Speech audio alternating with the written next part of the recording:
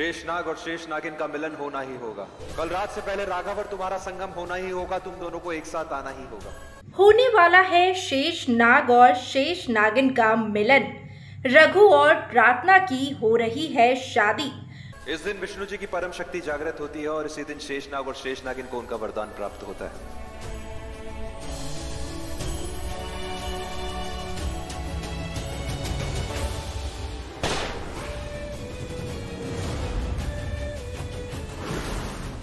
दोनों को मिलेगा वरदान, पर हो जाएगी एक अनहोनी।